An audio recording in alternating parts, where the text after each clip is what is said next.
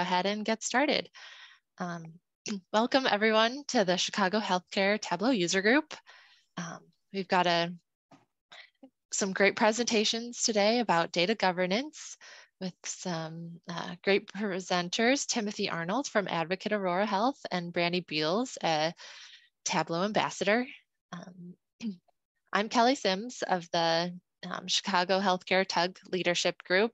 I am an analyst who works at the Lake County Health Department. I've been using Tableau for about four years now.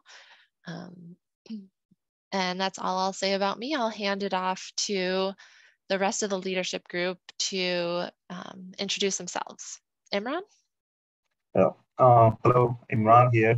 I'm a senior data warehouse analyst at Rush University Medical Center. And uh, welcome all. Heather, do you want to go next? Sure. Hi, everybody. It's Heather Clapp Nelson from Advocate Aurora Health.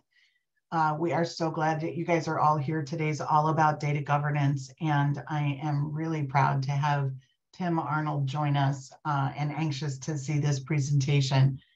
Um, I have been an advocate for 17 years, and I'm a manager over uh, some BI responsibilities and reporting in a variety of systems, but Tableau is kind of at the heart of what I love. So uh, I do enjoy these sessions and working with each of you uh, at whatever stage of your Tableau journey you're on. Chandani? Hello all, I am Chandani. I uh, am a senior healthcare data analyst at um, Illinois Health and Hospital Association. A lot of uh, people might know a lot of the dashboards and data that you might uh, get from us or work with from us. So feel free to ask any questions also in the chat. Um, but yeah, I do a lot of work in Tableau as well, building a lot of dashboards and um, providing some insights and answering questions. So let me know if you have any questions. Great, so we'll get started, jump right on in into our first uh, presentation and how to get started with data governance with Timothy Arnold. Um, and the presentation will be a broad overview, so it'll give us a little bit of everything. And Timothy, I'll let you introduce yourself and take it away. Awesome. Thanks so much, Kelly. Uh, I'm Tim Arnold. I'm the VP of Data Assets at Advocate Aurora Health. I've been in healthcare uh, about 20 years now, mostly mostly focused on um, healthcare operations, operations improvement, healthcare administration, uh, that sort of thing. The past five or six years, it's been a little more heavy on the data and technology side.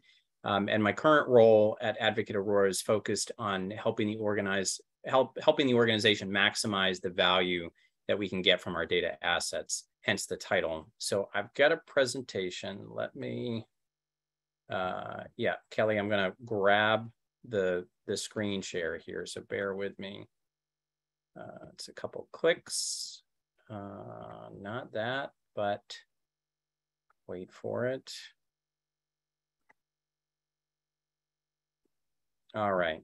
So I trust my uh, co-hosts will make sure that if I'm doing anything wrong technically, um, that uh, they'll they'll let me know if you're not seeing my screen. Additionally, I'm working with one monitor today. Um, I know, shame on me uh, uh, for even attempting to do so, but that means I don't, uh, I can't really see the chat or if people raise uh, hands or that sort of thing. Given the size of this group, I would absolutely encourage you um, and invite you to ask any questions, stop me at any point in this presentation. Um, I'm more than happy to unpack this. Uh, so let me jump right in. If you're not familiar with Advocate Aurora, uh, this slide is a touch outdated, but um, uh, this bit over here, the, the footprint, um, is still representative of uh, where Advocate Aurora uh, cares for patients. So, you know, we're, we're centered in uh, Northeast Illinois and Eastern Wisconsin. Um, I think uh, since this is a little bit dated, we're a little bit bigger. I think we have closer to 75,000 team members now, 14 billion in, in revenue. Um, but we're the largest um, healthcare system in the region. Uh, and if you watch the news or paying close attention to Advocate Aurora Health, um, we uh, are angling to, to join forces with Atrium Health um, out of the southeast, which would effectively double the size of the organization um, from where it is today. So uh, this this slide, even though it's outdated, will very likely be even more outdated uh, a few months from now. So let me jump right into to data governance as a definition. Um, if, you know, I would expect that this group would at least have heard uh, this term. It gets used a lot. It gets used very liberally. Uh, and in many cases, it's it's used properly because data governance can mean lots of different things to many different people and, and they're all correct. Um, I'm borrowing this definition uh, from the book I referenced at the bottom, a book by Robert Seiner, uh, Non-Invasive Data Governance, which um, I would highly recommend uh, it, for anybody who's interested in the topic. It is uh, an easy to read kind of how to um, set up a, a, data governance program, the, the facets of it. Uh, so this is his definition that data governance is the formal execution and enforcement of authority over the management of data and data related assets. Um, that feels a little bit heavy handed, especially for a book that's entitled Non Invasive Data Governance. So he, he supplies a secondary uh, definition, which um, I, I, find to be a bit more useful uh, in mixed company, which is uh, formalizing behavior around the definition, production, and usage of data to manage risk and improve quality and usability of selected data. Uh, and the, the underlining and the, the highlights, that's mine. I like this framework for understanding data environments in general, definition, production, and usage. If you're talking about data, the activities associated with data typically fall into any one of those three categories. Um, definition is going to be uh, you know, exactly what you think it is, defining terms, um, maintaining those definitions, ensuring that people understand them, uh, helping data comport to certain standards. Production is just the manner in which the data gets generated. Um, so anytime somebody's inputting any some uh, you know anything or uh, creating additional artifacts related to data, that's going to be the production piece. Uh, and then usage is the the output. So when we think about Tableau or reporting in general, um, typically we talk about using the data that has been defined and produced um, we're now using it, we're creating secondary data off of, you know, primary sources or, or uh, you know, upstream sources of data uh, to create new additional uh, data. So in the context of creating a report, um, you, are probably doing all three of these things in terms of defining, producing, and using data, um, just depending on your frame of reference. Uh, the other thing I like about it is this notion that data governance is about managing risk, and improving quality and usability of selected data. So uh, I'm going to talk more about um, the, the journey that Advocate Aurora is on. And admittedly, we're in the very early stages. So I'm not an expert on data governance. Um, I think our experiences may be useful uh, for others who, who might be thinking about engaging in this journey. Also, my presentation is going to be at a very high level. I do get a little bit into the weeds at the end, but it's mostly at a high level um, which I'm hoping for a data uh, interested audience, as I'm sure this is, um, should should be broadly uh, interesting at minimum if it's not you know directly applicable to your day-to-day responsibilities. But these contexts of managing risk and improving quality and usability, I think, are important. From a reporting standpoint, um, I think that falls more in the space of improving quality and usability. Um, but I'm sure in your own data environments and worlds, uh, the concept of managing risk has come up uh, more than a few times. Uh, so anyway, this definition I think is a useful reference point uh, for data governance, governance in general. And if you don't know anything else about data governance, um, just keep this definition in mind because it, as I say, it's been a very useful framework as we've engaged in our journey and helped to uh, helped other people in the organization understand what we're talking about when we say data governance. Uh, all right, so given those definitions on the prior page, uh, are you doing data governance today? Absolutely, you are. Um, these are some examples that I'm taking from Advocate Aurora, but for anybody in the healthcare space, you may very well be doing things similar uh, to this. Um, you know, annual compliance and HIPAA training, certain data related policies, data kept in secure environments. You know, by that I mean anything that requires a login.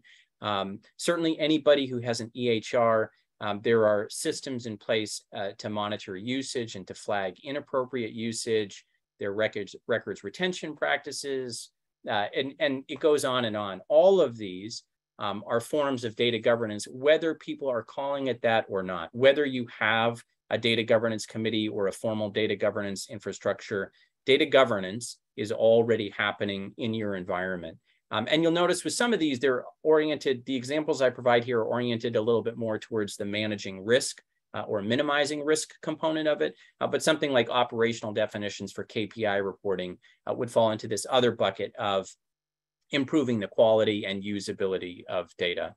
Uh, so besides the fact that we're doing data governance today, we've also been doing data governance for a long, long time. Again, um, this type of image is becoming increasingly antiquated. And maybe if you're of a certain age, you won't know exactly what I'm showing here. But um, for those of us who remember life before the EHR, um, anytime you were receiving healthcare anywhere, uh, you would see this. These are medical records, non-electric medical records, the, the good old-fashioned hard copy version of those.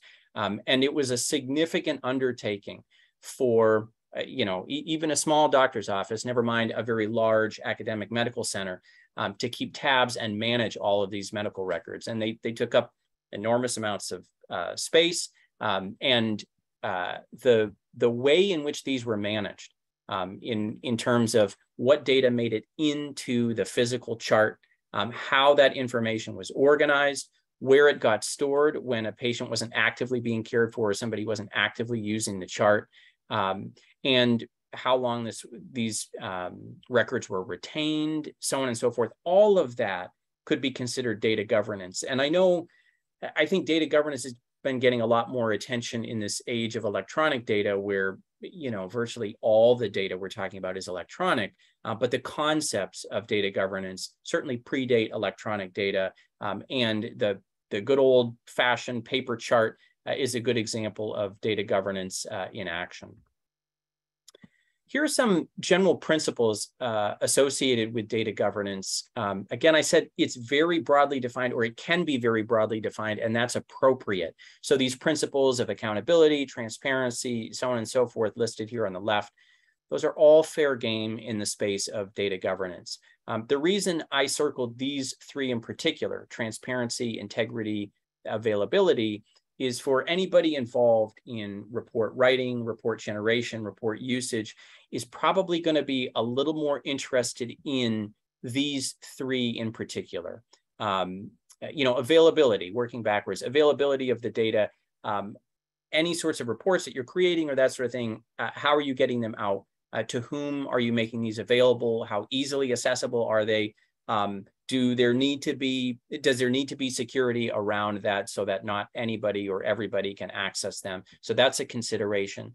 Um, integrity, that could mean a variety of things. Um, I'm going to narrowly define it around uh, kind of the, the consistency of your data. In, integrity of data uh, could be just how faithfully is the data flowing through its processes to end up on a report. Um, it could also have to do with how that data is defined. Uh, and then transparency, um, how visible uh, are data practices? Um, so with regards to a report, how easy is it for people to see whether that report's being used and by whom and that sort of thing. These are all principles of data governance. Um, and these three in particular, I think, of note to this group, even if you're not spending your day focused on uh, compliance, for instance, or retention and disposition. Uh, all right, so I, I, mentioned that we are early in this journey at Advocate Aurora. Uh, and, and I'm talking out of both sides of my mouth here because um, I, I, said we've been doing data governance forever. Uh, however, it was only at the start of 2022 that we uh, formally stood up uh, an enterprise-wide um, data governance committee. Um, and I'll, I'll talk more about the interplay between you know prior practices and, and what we're doing today. But anyway, we started um, the, the data governance committee uh, at the start of this year. Um, that was the first time we met. It includes representation um, from some of the places that you would assume like BI and analytics, uh, health informatics, um, but we've got a pretty broad umbrella including other um, uh, interested parties in terms of data governance. So legal, ethic, ethics, compliance, privacy, so on and so forth. Um, all of these uh, stakeholders have um, important opinions and perspectives with regards to data governance, uh, and we're thrilled they're at the, at the table for us. Um, we have been focused this year on minimizing data related risk. In fact, the reason why we stood up this committee was because there were a number of things happening, a, a number of data related things happening across the organization where it was unclear who could figure, you know, who could solve this problem. Um, a bit of a hot potato or questions of authority or even questions of expertise around how to navigate those things. So we're starting on data related risk. That's been our focus for the first three quarters. Um, we are now starting to get towards what I would consider, we're, we're moving towards um, a higher level of maturity in terms of our data governance uh, uh, journey. So we're focusing on a data inventory. I'm not going to get too much into the details there, um, but we're keeping that very high level right now. Um, our plan into 2023 and beyond is that we're unifying uh, data governance practices across the enterprise. So where things are already in place, we're not looking to uh, tell people how to do it. Uh, we just want to make sure that there's a level of consistency uh, across our data governance operations across the organization. Uh, and I touched a little bit upon this. You know, if, if we're already doing data governance, why would we stand up this uh, this committee? Everything's becoming more complicated. The organization itself is increasing in complexity. The data environment is increasing in complexity. We know that there are things that we can do better than what we're doing today. And probably these four bullets could apply to just about any organization. So I don't think we're unique in this regard. Um, and I think the need for improved data governance exists uh, probably everywhere. Um, this gets a little bit at our philosophy in terms of how we are approaching uh, data governance internally. Um, and this is also consistent with kind of the philosophy expressed in that non-invasive data governance book I referenced earlier. Um, so we are not looking um, as a committee, as a force, we are not looking to come in and tear down existing data governance structures.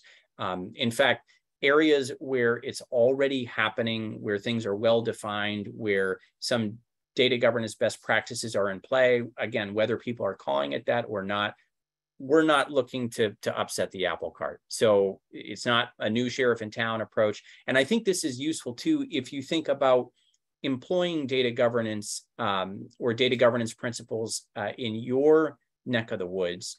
Um, I would highly recommend looking to see where it's already happening. Don't assume that it's not happening, even if there's no data governance committee, if people aren't calling that, uh, calling it that per se. Um, try to look for people because I'm sure there are people in your organization who take seriously the principles of data governance, whether, again, whether or not they're referring it to it as such. Um, and you don't want to tear those down or indicate that, hey, um, you know, we're here to fix a problem. Uh, you, you really actually want to harness the, the power of those existing structures. So this gets at the approach, the approach that we've been taking and one that I would recommend is, you know, how can we help? So, and especially for the people who are already vested in data governance principles, they'll be the first ones who can tell you where there are holes in the practice. And they might say, I don't know who to, you know, who to help with this or, or how to navigate that. Um, and, and there are always roles that e even an individual, uh, well-intentioned individual contributor um, who's working in their domain, there are always things that you can do to help improve um, data governance. Uh, so this philosophy that we've been employing with our system level data governance committee, I think is something um, that could be broadly applicable to, to you know, anybody who's looking to improve data governance at their organization. Um, again, keeping this at a very high level, I'm going to talk a little bit about one of the first things that our data governance committee did, uh, and then I'll share an example that gets into the weeds, um, and then uh, wrap up my presentation for, for any questions. Um, so one of the first things that we did as a committee was to align on, you know, what's our data purpose? Um, and maybe this sounds high-minded or unnecessary, um, but we were finding some complicated conversations around data were occurring or were trying to happen across the organization. Things around data monetization, around vendors uh, using Advocate Aurora data, um, around third party data that we received from other entities where there were contractual or legal um, uh, restrictions on how the data could be used and all sorts of creative ideas that people had around how we could use that internally and whether or not that's okay. Um, all of these things were, were kind of pointing to the fact that we would do well to have a very clear system level point of view on using our data. Um, and, and fortunately for us, Advocate Aurora has a very clear purpose. Um, uh, you know, you might also call it a mission. You hear organizations talking about mission, vision, values. Advocate Aurora refers to it as a purpose, uh, which is that we help people live well. Um, what I like about this is for anybody in healthcare, you probably have the same purpose, wh whether or not you're calling it this uh, or, or, or, not. Um, so helping people live well is at the core of what we do.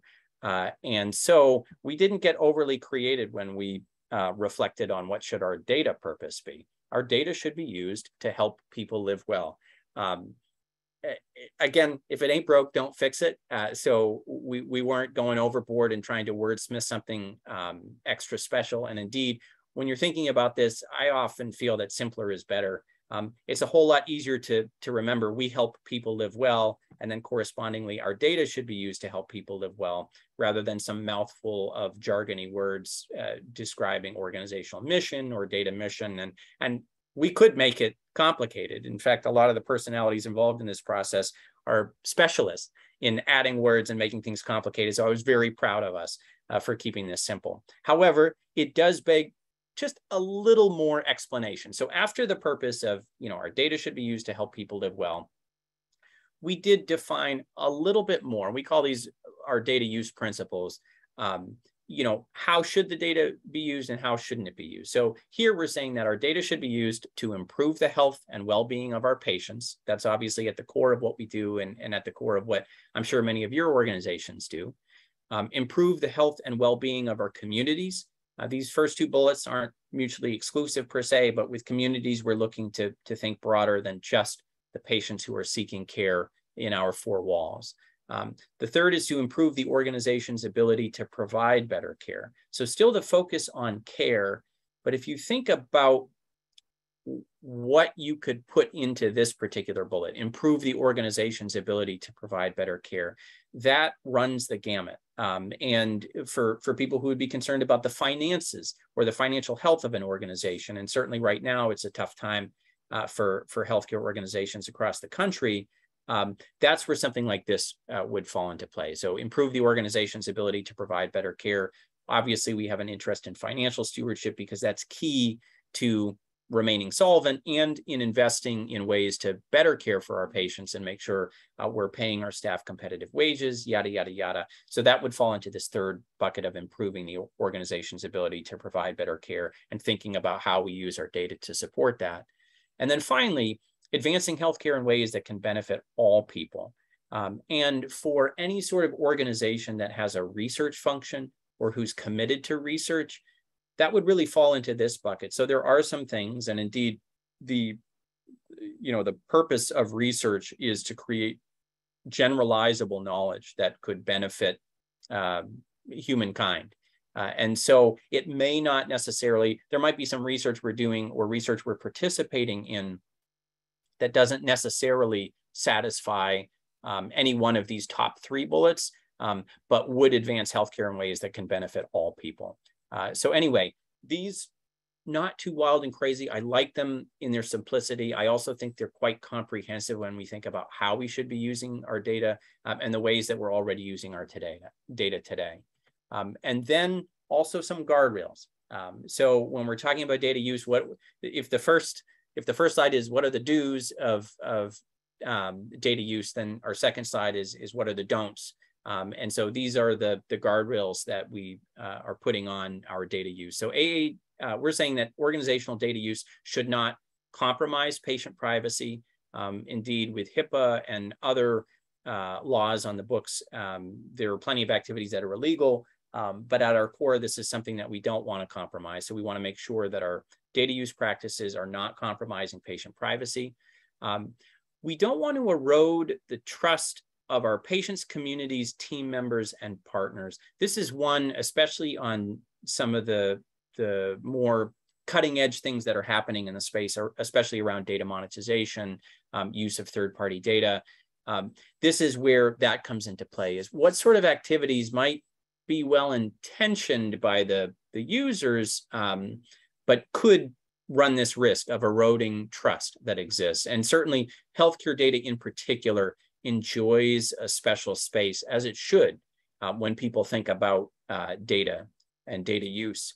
Uh, and this day and age where people, most people, or a lot of informed people just assume that when you're interacting with some sort of technology platform or with one of the major tech companies, Google, Facebook, Microsoft, Amazon, there's an assumption that your data is being used.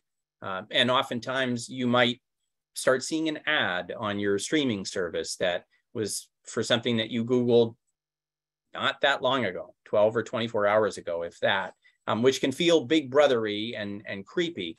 Um, healthcare data, when, when you think about how this data gets captured in very intimate settings, and, and I'm talking about clinical data that gets captured by clinicians in doctors' offices, in hospitals, um, patients are in a very vulnerable space in that there's a very intimate environment when that's be, being collected. But we've all, anybody who's received healthcare in the last 10 years is getting used to the fact that the person who is caring for them might simultaneously be typing into a keyboard as they're trying to, to talk and, and listen um, uh, to the patient. Um, so that data is being captured real time, um, but we don't think that that data that's being captured real time is being used in the same way that you know data that we're uh, you know providing free of charge to these tech companies um, and it's not. So we take very seriously any sort of uh, use of our data that could uh, potentially erode the trust um, of all the people we're interacting with. Uh, we take that very seriously. So th this one is um, uh, is extremely important when we think about data use. And I think is one that others could keep in mind anytime um, you're generating uh, data or talking about how data should or should not be used. Um, we certainly don't want to use data to perpetuate or exacerbate any inequities. Um, this uh, health equity is a big focus at Advocate Aurora, as it is at a lot of healthcare organizations.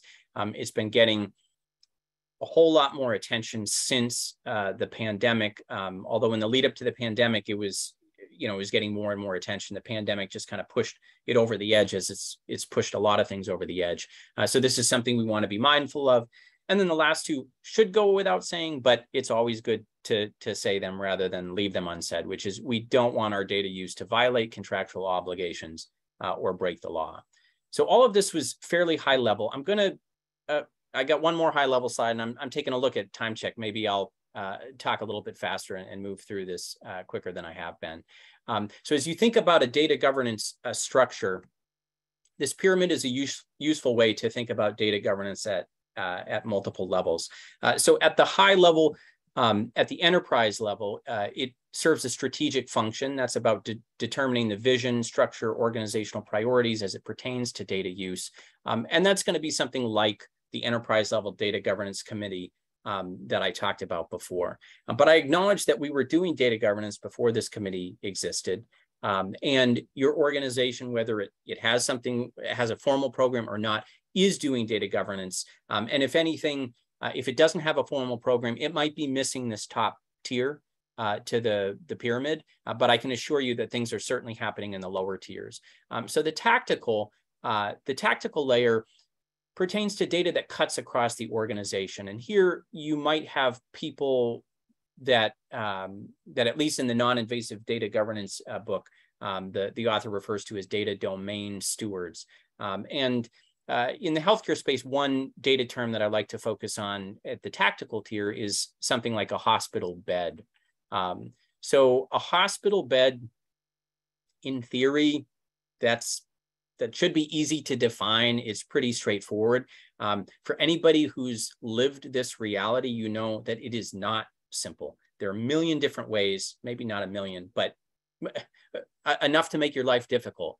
Um, a number of different ways to define a hospital bed, whether you're talking about a licensed bed, a physical bed, a room that can accommodate a bed, um, a stretcher in an ER, uh, a staffed bed versus an unstaffed bed, um, beds that are under construction, yada, yada, yada. Uh, we found at the start of the pandemic when uh, our leaders were saying what proportion of our hospital beds are filled with uh, COVID patients. Um, never mind the fact that there wasn't there weren't, there weren't existing uh, data standards for COVID at the start of the pandemic. Um, we realized that there weren't uh, useful standards pertaining to beds uh, so that we couldn't even provide a denominator for that. So that's where a data domain steward uh, becomes useful. And, and sometimes you're seeing this across organizations where people get together and align on, um, you know, definitions uh, for terms that get used um, across different areas. Also, it can be where something like a bed gets defined in multiple different ways and the context um, can drive which definition you're using. Um, the operational tier is a space where uh, data governance is typically happening de facto um, just because it has to. So this pertains to managing data at the business unit level. Um, and here you'll find what we call data stewards, um, individuals who, uh, and you probably have them in your organization. In fact, you might be a data steward uh, for a particular function or a particular set of data. These are the experts who understand the data in and out, um, who manage it. Um, I will point out that we're using the term stewards and not owners. Um, that semantic uh, distinction is important. Um, and this wasn't my idea. Again, this is in the book, and you're seeing this across the industry when people talk about data governance. Uh, the notion of a steward is somebody who cares for the data, who manages the data. Um, but the reason we're not calling them owners in this context is the data um, in most uh, situations uh, belongs to the organization or belongs to uh, you know some other entity some higher level entity. Um, you don't want people getting in the habit of protecting the data because it's theirs or not sharing it. Uh, you know it's siloed. This happens at every organization. If it doesn't happen at yours congratulations. I'm so glad to hear that you're living in a utopia. Um, but for the rest of us, you are going to find pockets where somebody's very protective of a certain application and the data that lives in that application, and they're very reluctant to share it because they're afraid of how people are going to use it or what people are going to learn when they see it.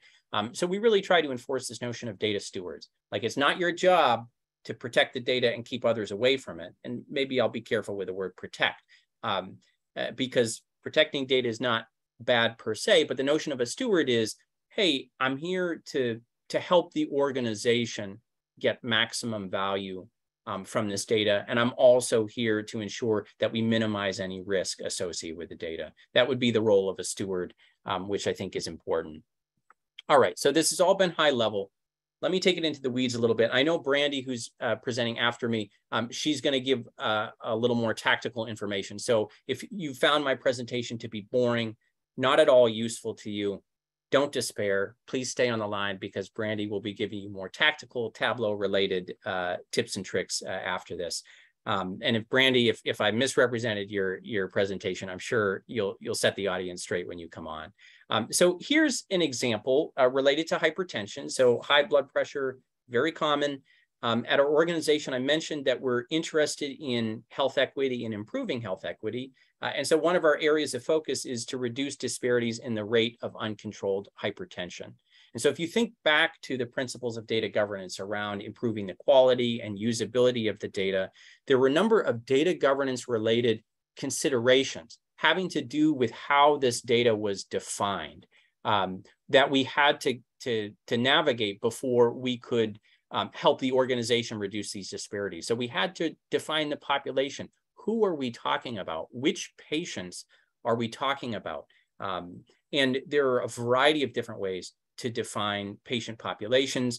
For an organization like Advocate Aurora that practices in um, eh, you know, in some markets like Chicagoland and Milwaukee, where there are lots of other areas where people can receive care, um, then we had to figure out, okay, which patients have a relationship, so to speak, with Advocate Aurora. And in this case, we said anybody who's had an encounter of any type in each of the last two years. So defining that population, that was a process.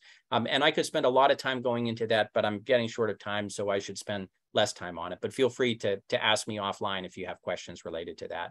Um, which groups are we interested in? Um, you know, we talk about uh, Black, white, Hispanic. Uh, in the, the media, you'll hear people refer to Black and Brown populations. Um, the census has very uh, specific definitions around African American slash Black, Caucasian slash white, uh, Native Hawaiian or Pacific Islander, um, Asian. You know, th th there are these uh, conventions that the U.S. Census use uses, and then we need to consider how are we collecting that. What do we do when patients mark multiple uh, categories? What you know, for the purposes of identifying disparities, we we need to put patients into buckets, even though a patient might not fit cleanly into a bucket. Um, so how are we navigating that? That was a conversation. Even something like uncontrolled hypertension, um, we can lean on standards that exist like HEDIS to to help us define that.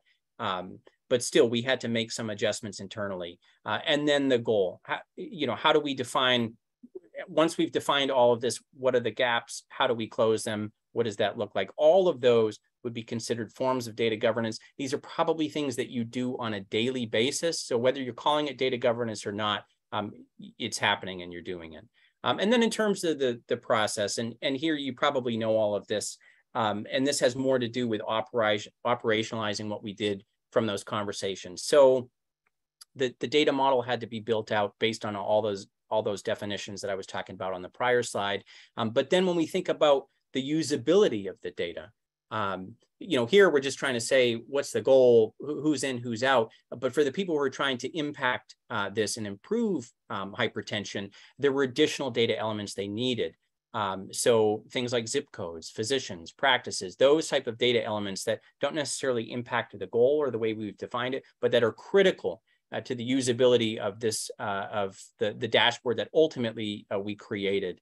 Um, and that dashboard was focused on, you know, both showing people how we're doing for this particular uh, goal, um, and we wanted to build in some flexibility to help with the people who are actually um, uh, enabling this change. Uh, so just a couple quick screenshots because um, this one was built specifically in Tableau, as you can see.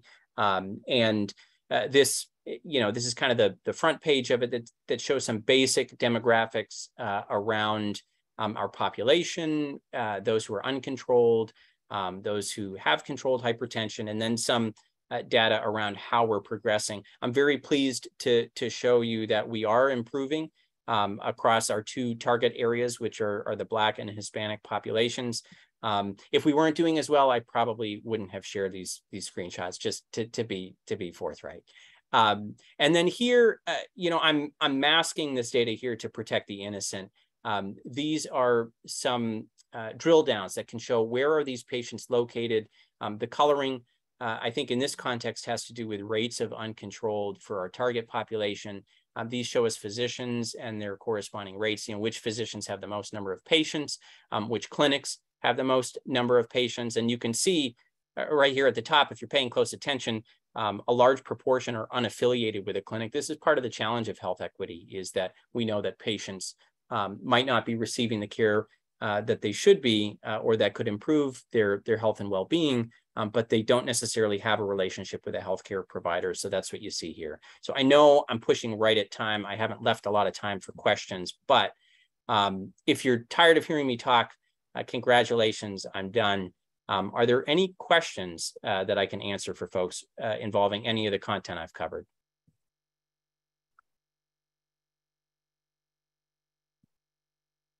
Feel Hello? free to, yeah, go ahead. Hi, Tim. This is Dan Ryan uh, from down at Riverside in Kankakee. Uh, I, I, had a question for you about um, governed versus ungoverned data and uh, what, if any, strategy you have to to distinguish between the two. I mean, we we have so much stuff out there, and data can be anything from, you know, fields within the Clarity database or within the EMR versus uh, CSVs and spreadsheets and all all this kind of you know loose content that can be out there and, and it's maintained by individual users have you guys come up with a strategy around that or are you are you thinking about ways to direct people towards governed data? What, what has been your approach and discussion around that? Yeah, so great question. I would encourage you to to think about this across a few dimensions. One is that the notion of governed versus ungoverned data um, is probably more rightly thought about a spectrum um, of well-governed versus completely ungoverned data, because you can always improve your governance of it. Um, but for most of your data, there's probably at least some governance that's happening to it. So, so that's one distinction is to, to imagine the data, you know, from this standpoint, governed versus ungoverned as being on a spectrum. The other thing to consider is around the value, the importance, or the risk associated with data. Um, so, uh, you know, when we talk about well-governed data versus ungoverned data, uh, there's some data that we really should have tight governance practices in place um, versus other data where that might not matter uh, so much. Um, so considering the importance of the data too when you're imagining this uh, framework. Uh, so we are just kind of getting into this space. We, we know just by virtue of the people who are on the committee and the relationships we have internally, uh, we know about pockets of the organization where data governance is happening um, quite well. Uh, and, you know, to give you one example, we have system level um, scorecards that, uh, you know, are uh, are set annually. They're across a number of dimensions, uh, finance, safety, health outcomes, patient experience, consumer experience, um, diversity, equity, inclusion. Uh, these are some major buckets. All of the measures that get defined on that annually, I would say are very well governed. Um, and so this, for a, a system like ours that's very large, um, the way that we're enforcing tight governance on that is to centralize the reporting of those things um, and to uh, to to kind of make sure that people know this is a well curated set of measures um, that are measured centrally and and therefore they're consistent across the organization. So if we say here's the readmission rate at one of our hospitals, nobody's saying well we measure it differently at a different hospital. Like that doesn't even come up because we're we're doing those types of things centrally. Um, however, we do know that we have some opportunities to improve making clear to people what is well managed or well governed data versus other things that are not. And one of these areas that are weak for us, and I know Dan, because you and I spoke uh, have spoken earlier that at Riverside you guys are doing some great stuff in this space to help differentiate between um, governed data or, or, ungoverned data. But one area for us that is a weakness has to do with our EPIC reporting, especially things in Slicer Dicer. There are just so many things out there um, for people that it can be difficult uh, to to discern between you know what is well curated, well governed data versus those things that aren't. So again, the way that we're doing it internally, and this probably happens organically at your organizations, if you have centralized reporting, reports that everybody looks at, then good bet that those things are well governed but that kind of happens uh, you know by default just because people are focused on it. There there's we definitely have more opportunity to help differentiate between that so uh, we're, we're working on it. That was a long-winded response to to your question. Dan did you have any additional points on that or, or is that a good enough for now? I, thanks i appreciate that. I, the only thing i would add is uh, yeah I, I, think we do all right with technology but it's um, my goal is always around the culture. Like how, how do I get the decision maker to be curious about the quality of the data that, you know, if whether it's budget or, or some other initiative, data is being brought to decision makers. How do I make sure that they're they are literate and they understand data quality and they're asking the right, right questions to make sure that they're using high quality governed defined data.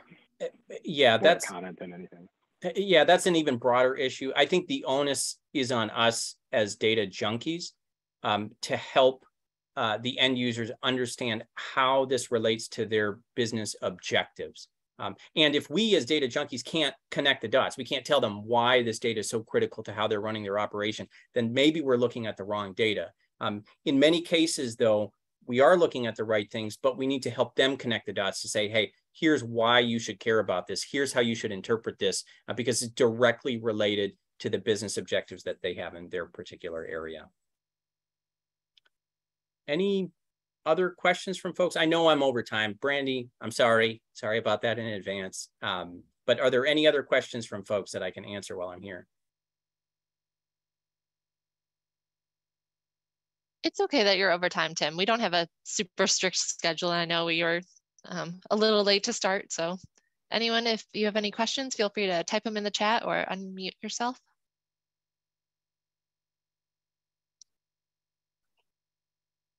Or you can hold on to them later too and Save type them. in the chat if you, yeah. Yeah, here's my email address. If you haven't screen grabbed this already, and I think we will be distributing the slides and or since this is recorded, it will be posted. So feel free to reach out to me offline um, if you, you have additional questions. So with that, why don't I kick it over to Brandi? Sounds good. Thank you so much, Tim. That was a great overview of data governance. And we'll pass it off to Brandi. Awesome. Thank you. Um, and thanks, Tim, for, I mean, just a wonderful presentation. Um, as you'll hear in a moment, I'm, I'm not in the healthcare space, but uh, instead I work in finance, which has its own set of like data governance and uh, date, you know, sensitive data um, components to it. So uh, a lot of those things still resonated um, even outside of the healthcare industry. Um, okay, I'm gonna start by sharing my screen. All right.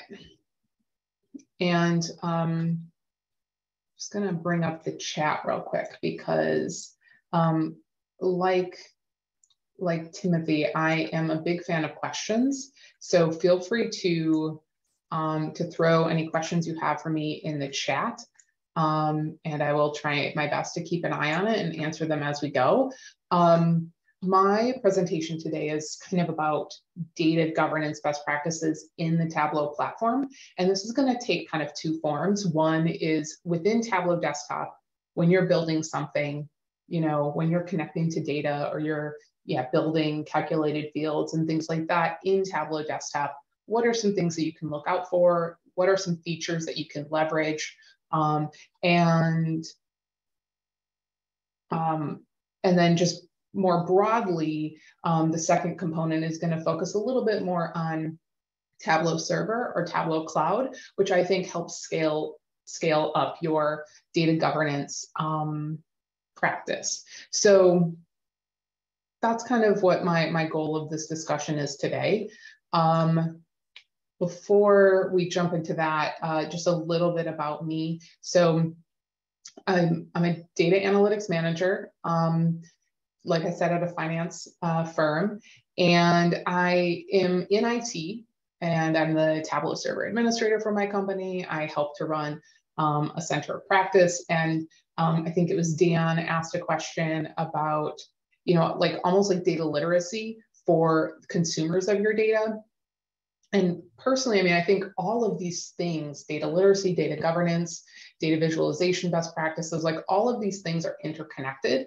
And from my experience, I find that it's really important to like attack the problem from like multiple perspectives. So having data governance is amazing, right? Having data stewards is I mean, you need data stewards to help answer questions about the data and make sure it's being used, you know, maybe appropriately or, um, you know, uh, like Tim mentioned, um, you know, like defining the value that this data brings to an organization. But I also think like data literacy and just making sure wherever, you know, that that whomever is using data knows how to be critical of it and ask the right questions and look for the right things instead of just uh, blindly trusting it. Anyway, that's I can I could talk about that um, unprompted for a while. So I just won't I won't even go there. But um, outside of like kind of my day job, I am really involved in the data community. Um, I lead a variety of Tableau user groups myself. I'm from Milwaukee, so not too far from Chicago.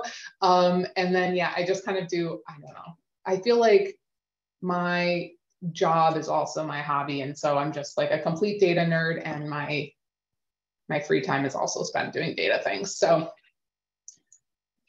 um, enough about me. Here's what we're going to cover today. So I have a variety of kind of best practices and tips.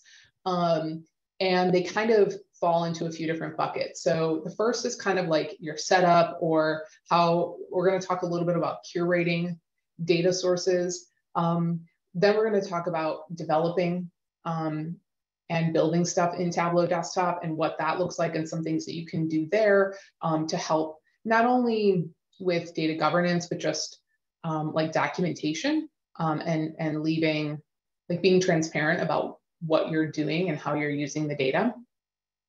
Then we're going to move into Tableau Server or Tableau Cloud. I'm going to just, I'll probably just say Tableau Server from now on. But they're pretty synonymous. So um, in Tableau Server, we've got data quality warnings and we've got um, some metadata um, capabilities and tools at our disposal. So I'm going to talk a little bit about that. What I will note is you'll see a few of these items have asterisks on them. Um, this requires the Tableau Data Management add-on, which is an additional cost, but um, unlocks a variety of additional capabilities. So um, I will I will note I will mention um, when we when I go through my demo today, I will make sure to call out which items require this add-on. Um, but I think it's really helpful to kind of see it in, um, I don't know, see it in use, I guess, um, and get a little demo of it. Um, I don't know, it, it'll just hopefully um, be enlightening. Anyway, I find it a very helpful tool. So that's enough with the slide deck. Let's jump into Tableau um, and dive into some kind of best practices. My hope is that these are kind of very simple steps um, and tips that you can start to implement. Um, maybe they inspire you um, to, to kind of just do a little bit extra um, when you're kind of going through your day to day. And as we all know, like data governance or documentation, I mean, let me just say real, one thing real quick about documentation. It can sometimes be terrible to write. I mean, let's be honest, nobody wants to document and define every little element. But boy, when you have it, it's so nice. So I'm going to talk a little bit about that. Um, okay. Dan, Daniel loves documentation. Awesome. Yeah, I feel like, again, when it's done well, it can be really nice. So I've got a few hacks, I suppose, um, that I'll share that make it a little bit easier for me. Um, so let's dive in. Okay. So right now you should be seeing a very boring looking um, Tableau desktop instance. Um, we're gonna, before we even talk about like building something on Tableau desktop, I'm gonna talk about um, connecting to data. So um, you can see here, I have four data sources already set up. Um, yes, this is my resume that I've built in Tableau, but that part is, is not really important at the moment. Um, what I'm gonna first show is if we want to connect to a new data source. So typically, um, you know, if you're building something from scratch in Tableau, the first thing that you'll do is connect to data.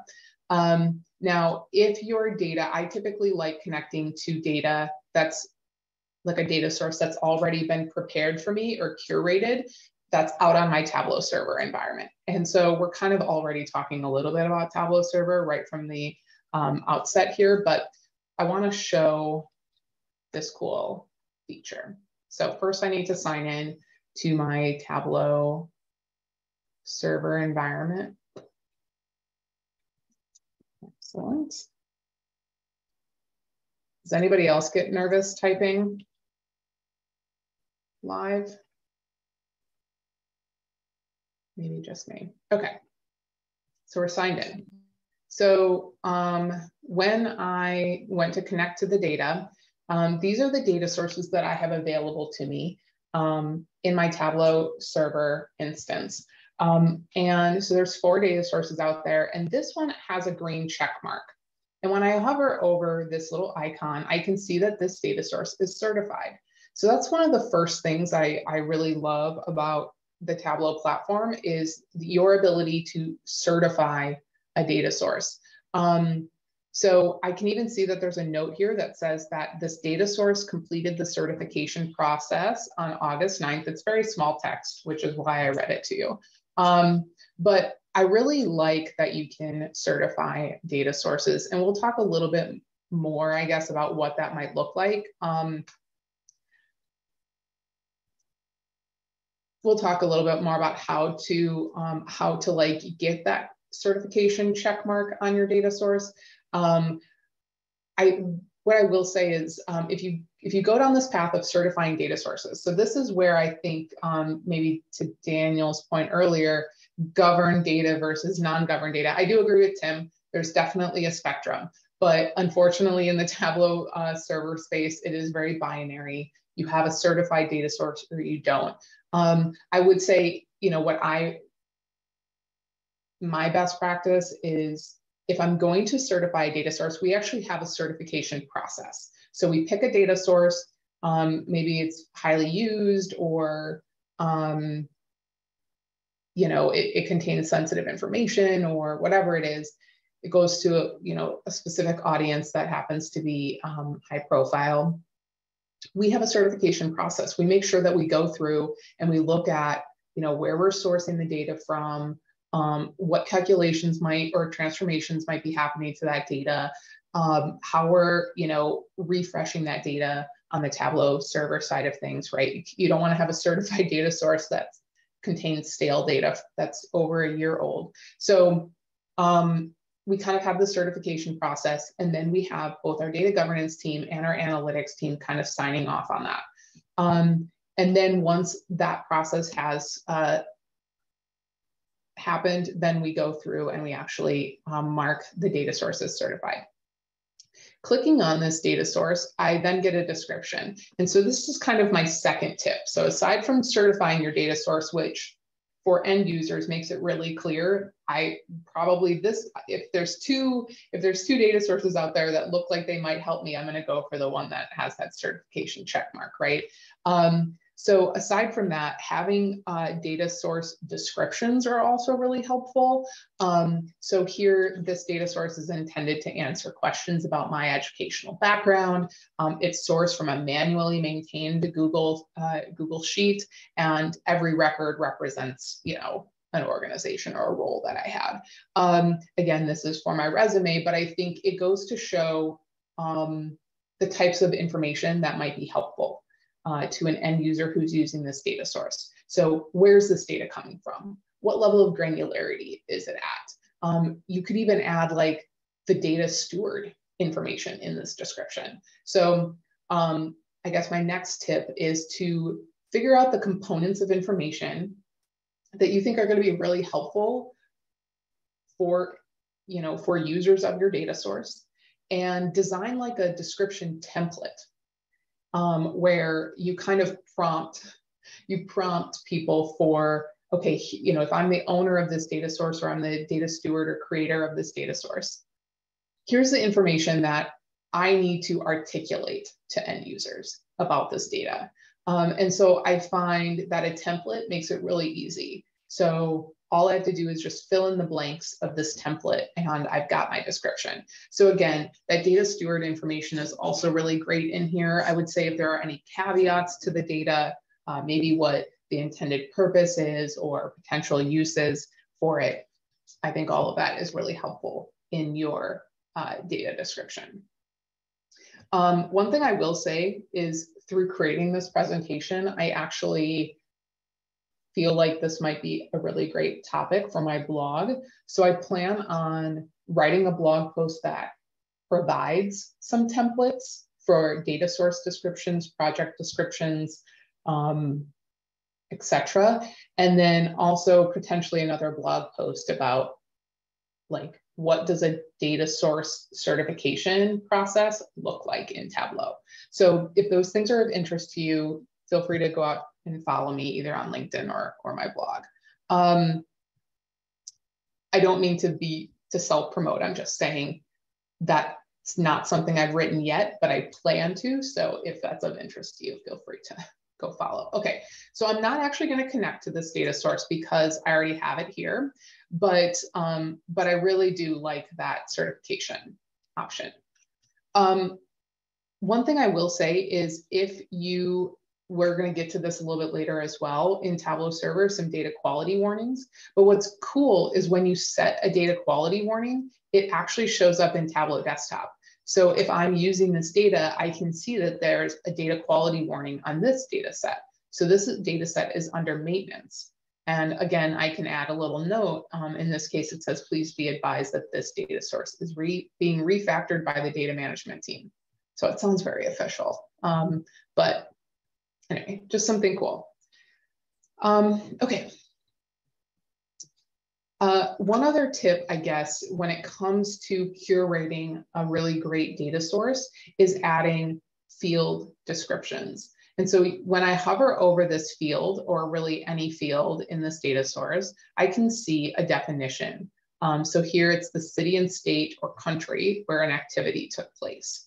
Um, or distinguishes between education experience and extra professional activities. So I'm a big fan of adding field descriptions. So in order to do that, if you are the person curating that data source or, you know, if you're, you know, maybe using an Excel file and you want to define what these fields are, um, you right click on that field, you go to default properties and comment, and then you can, this is just a text box, so you can write anything in here that you would like.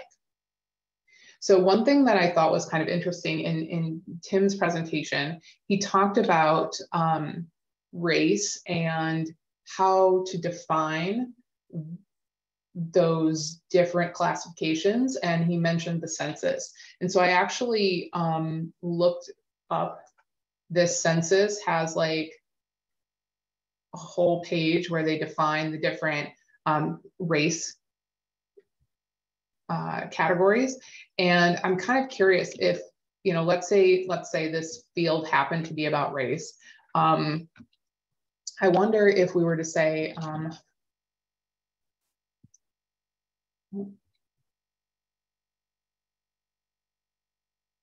oh, oh, sorry, my keyboard wasn't working for a second, so that's fun. My keyboard's being very annoying. Apologies. Um, okay.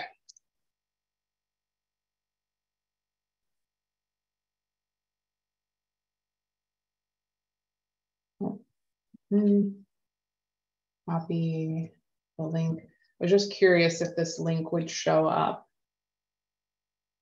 So it doesn't really, it's not something I can click on um, in there. But again, I can leave you know, any sort of text here. So if an end user needs to come in and learn more about, you know, how these different races are defined, they could do that. So um, big fan of field definitions. Again, this is a really great place. And, and I don't think there's a limit either. So I could have put um, the text from that page directly in here. Um, but I'm just a big fan of, um, I could have done that or something. Um, Brandi, so yeah. can I ask a question? Please do, yeah.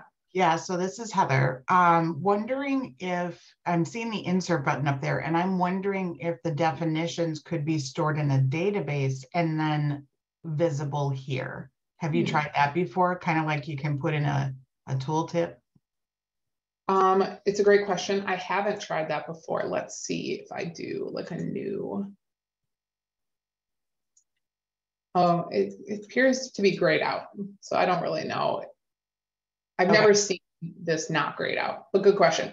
What I will say is I do know that Tableau is like working on integrations with other tools like um, I think it's like Alation, and I think there's maybe others that are more enterprise-wide data glossaries that would integrate with this capability. So I think that those are things that they're working on.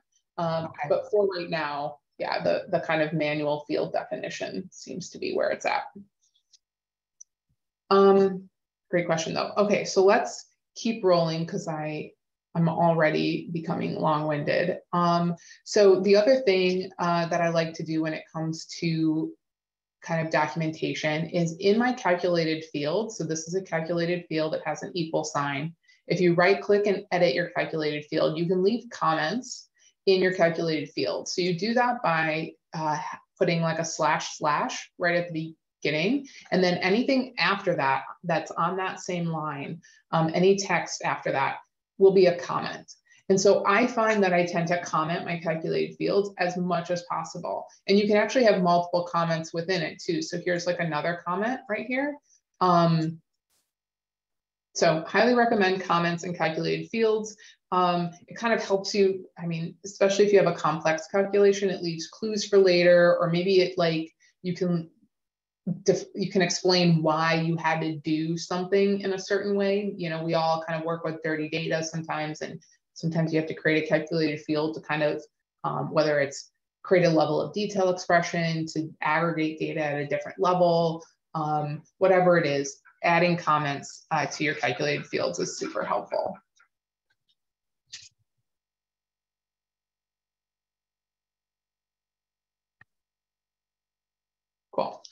Um, and then we'll actually talk, this will come up again later. So um, just note that. And then the last tip that I really have within Tableau Desktop, I know we haven't like, we haven't actually built anything in Tableau Desktop. There's not a lot of, in my mind, data governance best practices when it comes to building a visualization besides knowing what data you're working with and how it should be used. But um, one other tip, this isn't even really um, around uh, data governance, but I just like to show it anyways, because I think it's one of those like underutilized areas. But in, in Tableau desktop, when you've built something, um, typically, um, let's actually, I'll come back to this in a second. We're gonna jump over to this sheet. So um, you can have so this is just a basic bar chart. If I right click on the canvas, the gray spot in the background, um, there's not only the title card, but there's also a caption card. And the caption card is like automatically generated by Tableau and it, it, attempts to define what's taking place on that view. Um, so here it, you know, it's just not very good. I've never once seen it actually used or actually be that great. Um, I would love to know if anybody here has used the caption card and if it actually does a good job. But what I've decided is to repurpose that caption card as a place to leave my self documentation. So in this case, this is a, a radial, like a, a spider graph. Um, and this was a whole whole new chart type for me. So I actually had to look up how to do it. And there are two how-to articles that I felt like were really valuable. So I linked them. Um, and then I even left myself a little note. Um, and so what I find is this caption card is a really great place to leave resources for maybe other people or even yourself later on. Um, if you're like, okay, wait, I know I created this thing, but um, why did I create it or why did I create it this way? Or again, maybe it was a complex chart type. Sometimes I also find I leave instructions for other people on my team who might have to support this chart. Like, okay, when we have a new client, do, you know, one, two, and three. So just a really great feature that I think um, can be repurposed as notes. Um, so if I double click on this,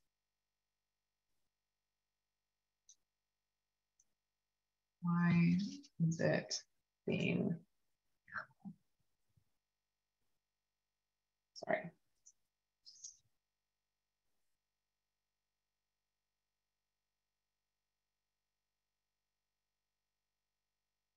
Sorry, Tableau is being kind of irritating today. Do you edit the auto-generated caption? Yes, I do. Um, for some reason, Tableau is not letting me do I have a field? Sometimes that happens when you have like a, whatever, I don't know what happened. Um, oh, I see, haha. Okay, it was behind Zoom, so that's great. Uh, this is just a text box very similar to that comment feature um, where you can just type stuff in here. But yes, I just, I will go into like the auto generated version of the caption and just delete this out and type in what I want. So great question. Anyway, okay. So that's just like a bit of what I do in Tableau desktop. Um, let's talk a little bit about Tableau server because I think Tableau server is really useful in a variety of ways and really helps to scale up data governance. So we're going to jump over to a Tableau server environment. Okay. So this is a um, dev instance of Tableau Cloud, um, which again is very similar to Tableau server. Um, so let's first talk about that published data source. So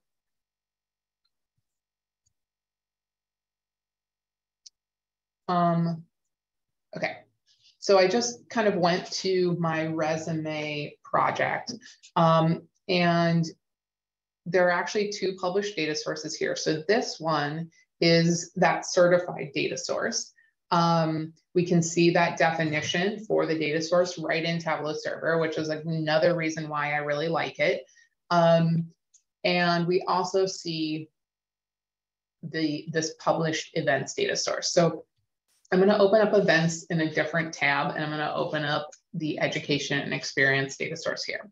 So the first thing I'm actually going to show you is how to certify a data source and it's quite easy. Um, so you're going to click the information icon and in this space is where you can edit the about or the description in this case. You can also down at the bottom is edit certification status. So if we edit that, it's literally just a checkbox where you can say this data is certified. So theoretically, you can certify all your data sources, which is why I really recommend that you define some sort of data source certification process or threshold. Um, and then I like to leave a note on the web. I don't know what Siri thinks I'm asking about, but um, I also like to leave a note around when this data source was certified, just so that people are aware. And I like to have a recertificate, like a recertification process as well, like just like a review every year of certified data sources. So that's all you have to do to certify a data source. That part's pretty easy. Um, let's jump over to the other tab, the events data source. This is the data source that we saw that was under maintenance. So I wanna talk a little bit about this. Now this is a feature that comes um, with the Tableau data management add-on. So just to be clear, but when you have the data management add-on, if you click the three dots next to a published data source, this is not an option for data sources that only live within your Tableau workbook. This, on, this option is only available for data sources that have been published separately to your Tableau server, Tableau cloud instance. But you have the option to add a data quality warning. And there are two types of quality warnings. The first is um, a manually set quality warning. So this is just a toggle to turn it on or off. And then there are different types of warnings, um, whether it's just like a warning or maybe this data source is deprecated and so eventually it's going away. Um, you may want to, you know, alert all users of that, or maybe the data is stale, whatever it is, or there's even a sensitive data one. You can even, you know, turn this on for all data that maybe contains sensitive information. Um, and then you can add a note. So a note is required. Um, there are also two levels of visibility. So standard visibility just means that it's a note when somebody's using the data source. So whether you're on Tableau Desktop um, or later we'll see it in the data details tab. Um, but high visibility means that a warning will actually appear whenever an end user navigates to that dashboard. So all your end users would be aware that this data source is you know, stale or under maintenance or might not be updated, whatever it is. Um, it even gets sent with subscriptions. Okay, so that's data quality warning number one. The other is an extract refresh monitoring warning. It's a mouthful. Basically, this is an automated warning that will be added if the refresh of this data source fails. So I really like this one, especially if you have like data sources that are being refreshed on a regular basis. Um, you know, if it fails, I don't know, if you're anything like me, I've gotten end users coming to me being like, hey, my dashboard's not updated. You know, I'm not seeing today's data. Well, wouldn't it be nice if a warning just automatically appeared for end users to say, by the way, you know, this data refresh failed, your date, your dashboard may, may be out of date. So those are the two uh, data quality warning options. Um, again, highly, highly recommend both of them. they're really cool. Okay, moving on. Um, let's talk a little bit about that data details tab. So I'm going to go back and I'm actually going to navigate into my resume, which we were kind of looking at before in Tableau Desktop, but you didn't really see the whole thing. So um, this was just a fun project for me. And while I was building it, I defined every field, which is why it's my demo. Um, plus, it's not sensitive information, so I can share it. Um, so when you, when any end user is in, you know, looking at a dashboard, again, if you have the Tableau Data Management add-on, there will be a data details button somewhere along the top. Right now it's on the left, sometimes it's on the right. Um, but if you click that, it actually will open up a pane on the right-hand side, which shows you a variety of information about this dashboard. The first is actually views of that dashboard. So if, I, if you're the owner of a dashboard, it might be kind of cool to come in and look at like how frequently is my is this dashboard being used. But for your end users, they can also see who owns it. So if they have questions about it, they know who to go to. Next up, we have the data sources. So this will show you all the data sources used in this dashboard. It'll even show you when it was last updated. So you know whether you're looking at updated information. Okay. And then finally, we have the fields that are used in this dashboard. And so if I'm like looking at, you know, something, um, for example, this is my activity, my whatever experience and stuff. If I'm interested in what that is, I can actually expand this field and I get that definition. Oh, I see. Okay. Or activity name, I can see what all of that is. Um, and then for calculated fields, just like we did, just like we saw um, in Tableau Desktop, that uh, comment, you see that here as well. So when you take the time to define your fields and um, add comments to your calculated fields, if you have that Tableau Data Management add-on and you have this data details pane, you're making all of that information directly available to end users, which in my experience, like minimizes the amount of questions that you get about it because they can kind of go out and explore and answer the, their own questions about it.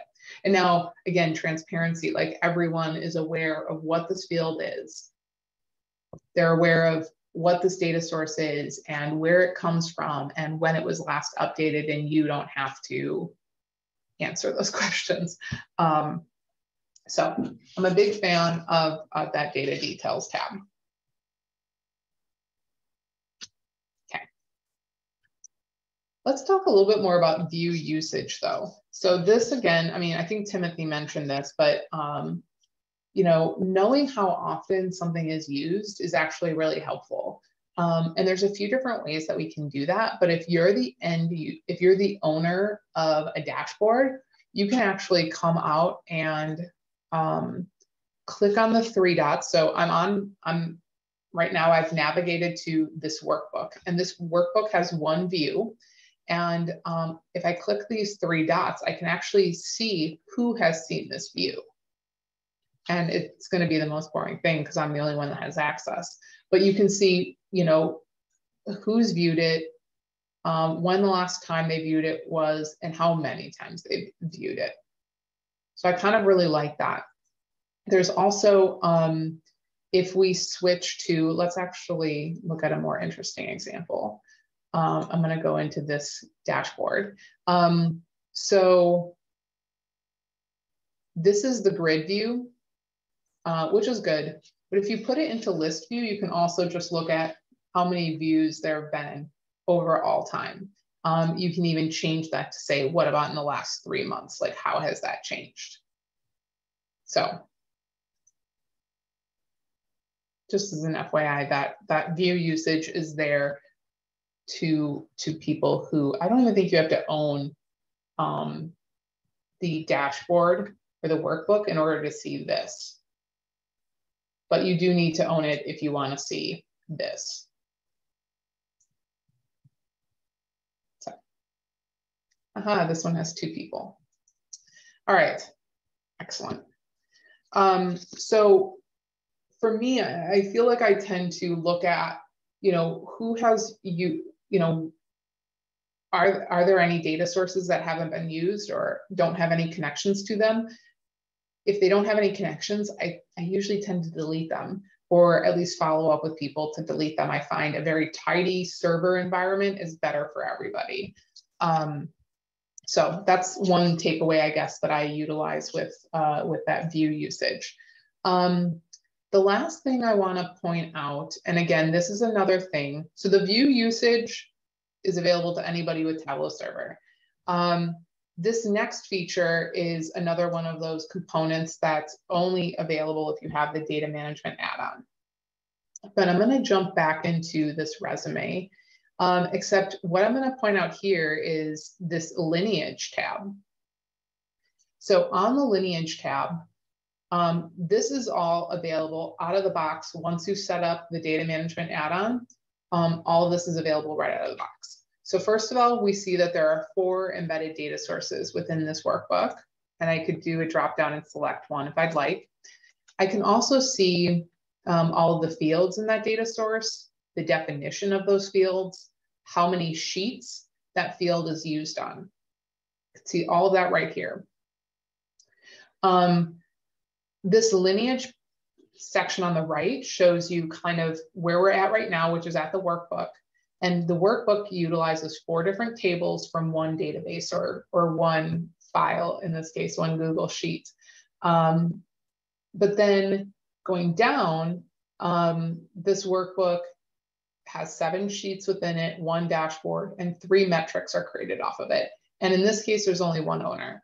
But you can imagine potentially a data source um, being used in multiple workbooks on multiple sheets, having multiple owners. Let's say something's wrong with this you know, activity category field, and I want to alert the people who would be impacted by it.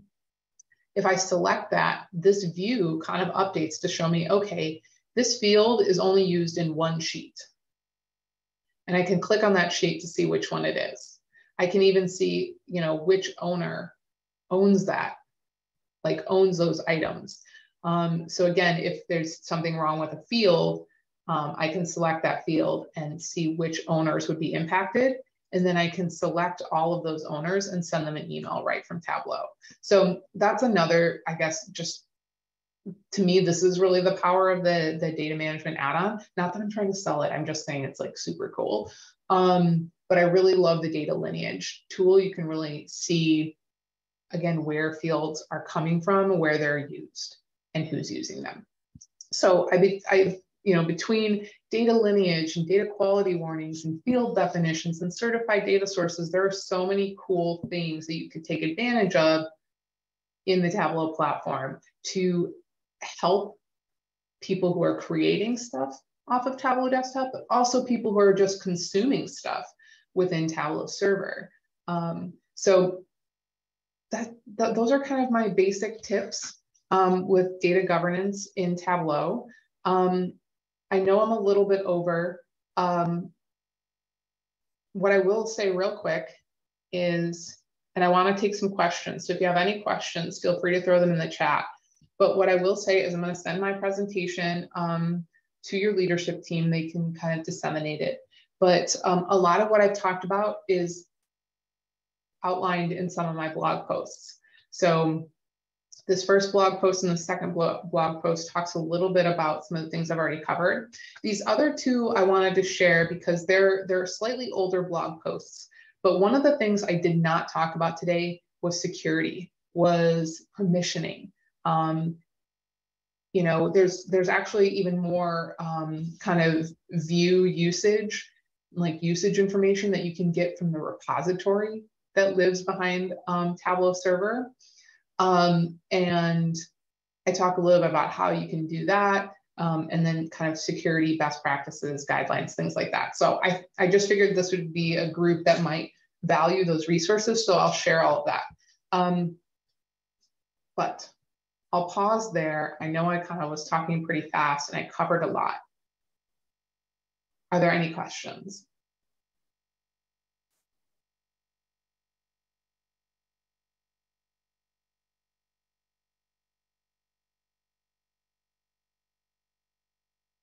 No, I put everyone to sleep. Excellent. Um, cool. Well, thank you so much for having me today. Um, it was it was just wonderful to come and speak to you. I, I feel like I'm very, very excited about Tableau, um, the entire platform and just the different ways that we can leverage it. Um, again, I would just say building things in Tableau is amazing. It's all of those little extras that I think help make it help end users just better utilize data, right? And the more that we can put that information at their fingertips, um, you know, where they can use use utilize data in the right way um, without having to go to you know a data glossary to find you know all that information about how to use a data source. Um, I find that that's really the, the more that we can do that, the better. But thank you so much for letting me come and speak to you today. I appreciate it. Thank you so much, Brandi. And you absolutely did not put anyone to sleep.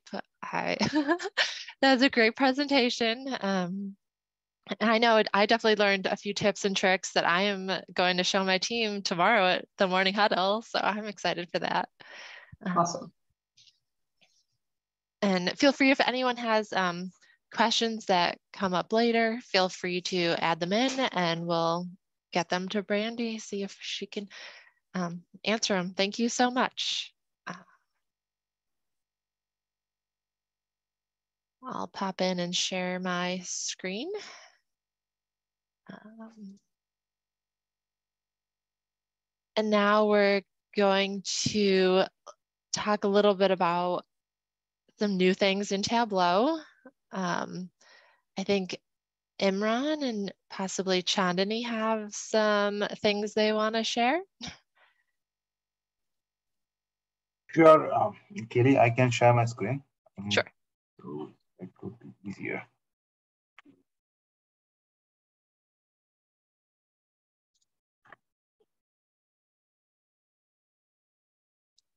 Can you guys see my screen?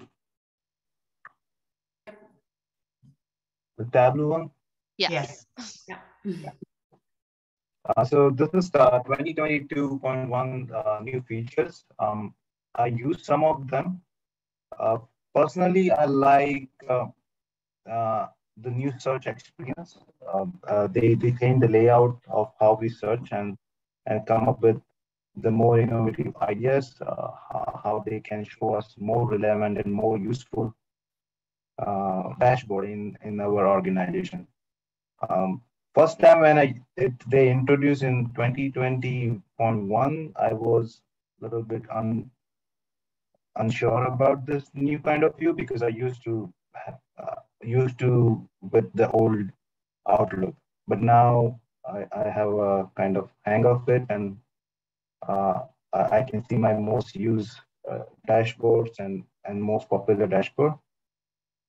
Also, they they introduce workbook optimizer. So when we are published and and we are planning to publish, they they they send us some alerts and give some best practices uh, checks. And if we are uh, something they, they found inappropriate or is, if the query is taking longer than usual, uh, they highlight that and, and we can go and fix it. Another, um, uh, we have started using Ask Data in our organization. And in the in this new version, they come up with the more user-friendly Ask Data. Now you can use the phrase and and and the filter some of the stuff uh, uh, easier than before. I found it's more user-friendly than what is uh, what what was there in the first version. So they, they improve a lot uh, in the new version.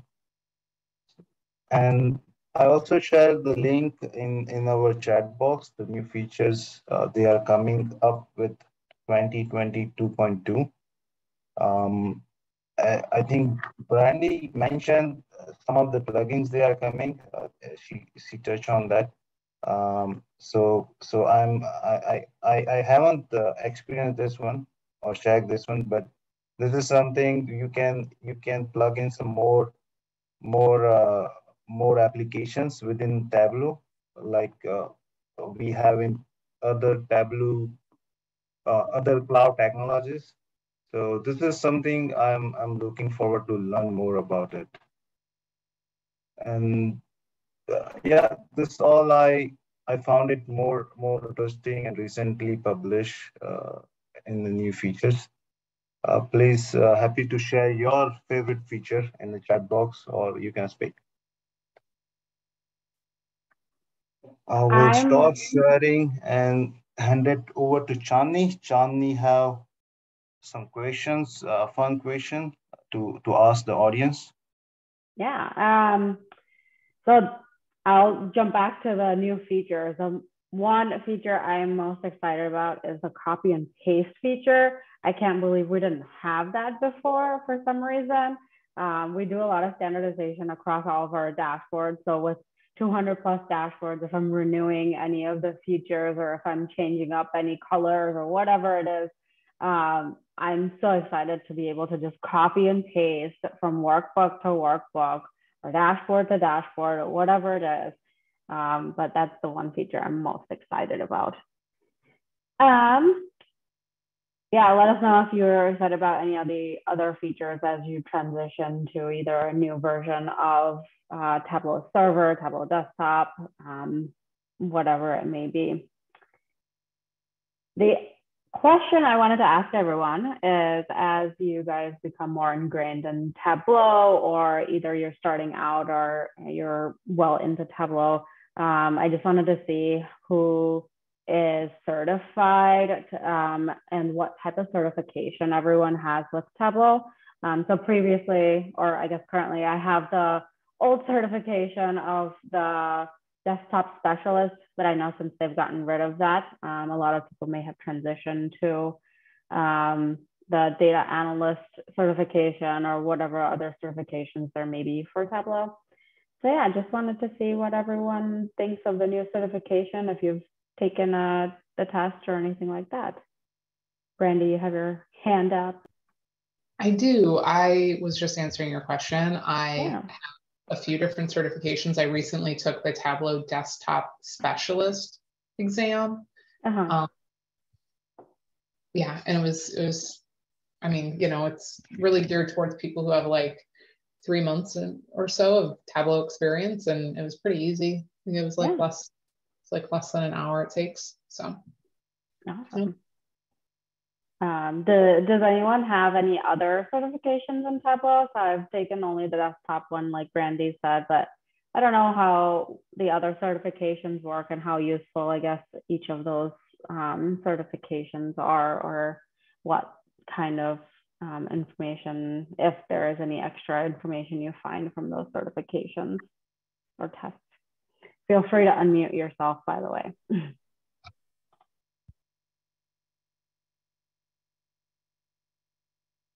or send in a chat. While people are doing that, I was just going to say, like, you know, having multiple certifications, like for me, I, it doesn't lead to like a promotion or anything necessarily, but mm. I do think it shows both motivation and I think, like, okay, I don't know if you're anything like me, but in my experience in Tableau, I feel like I keep going back to the same chart types or the same ways yeah. of doing something. Mm, and yeah. it kind of forced me to learn something new, you know, like I kind of had to study up on something like maps, uh-huh. which I don't use that often. And so yeah. I feel like that was kind of nice. It more so helped fill in some gaps for me. Yeah, yeah, definitely. Yeah, we we do the since we do the standardization of all the dashboards, it becomes very repetitive. Um, so definitely would look into more of the certifications for that reason, I guess. Yeah. Well, and that desktop specialist one was like a hundred dollars, which that's not bad. It's not bad. I mean, you know, I totally understand, you know, whatever. I, I'm grateful for the fact that a hundred dollars doesn't isn't that expensive. Yeah. yeah. But you know, part of me is like, I don't know, did, did your employer help cover the cost of your certification? Yeah, they did. Um, and then it's been over two years now, so I probably should take it again and get the. I think the the not the desktop specialist one, but the data analyst one. That one's in the beta version when I last saw it. Um, so I wonder if they if Tableau has already created a permanent version of that data analyst certificate. But Yeah. I'm not sure. Yeah, I feel like they keep coming out with new certifications. It's a little hard to keep track of. Yes, and I don't know how useful they are. So I tend to not look at them as long as I know I'm playing around with the dashboard. Yeah, yeah. Yeah. I had a server certification a couple of years ago. I'm not sure it's still active. Yeah. But yeah, they come up with a new certification. And but the good thing about Tableau is even you don't have certification, lot of information available on YouTube, and they have a great uh, Tableau community. Yeah. So That's really helpful. And if someone is new, uh, they can learn uh, from the basic very easily. Yeah. So yeah, we have a we have someone that's a new coworker of mine, and she's going through um, learning Tableau just from the the videos that are available through Tableau. Um, we're not doing any course or anything like that because it's almost the same information if you were to do a course or if you were to just learn through the Tableau videos at your own pace, I guess.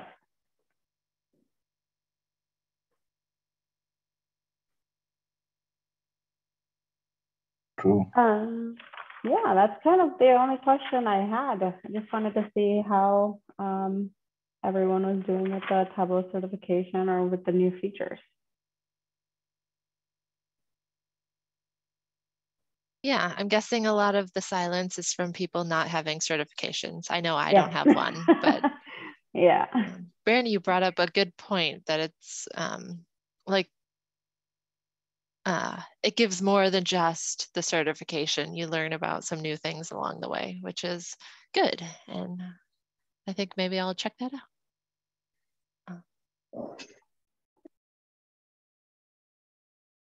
All right. Does anyone have any other questions or about the content, anything about Tableau, any questions you want to ask? Maybe you've encountered an issue while creating a dashboard or anything like that um, that you might want to ask the group and see if there's any feedback. Anyone who might have experienced the same issues as you, um, feel free to ask away. Otherwise, we are done for the day.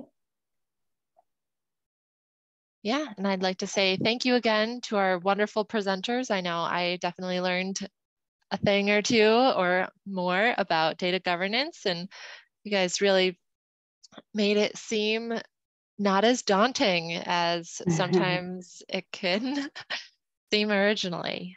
Um, but just a big shout out and thank you. And just a reminder to everyone else on the call, we are always looking for um, our next presenters for the next Tableau user group. If you're um, have something you want to share or something cool you learned about in Tableau, or if you just have ideas for topics, feel free to um, email any one of us of the leadership group or put it on our Chicago Healthcare Tableau user group page through the um, Tableau community website. Uh, and thank you again. I have a good rest of your Thursday. Thank you. Thank you all. Thank you. Bye, everybody. Bye, everyone. Thanks, everybody.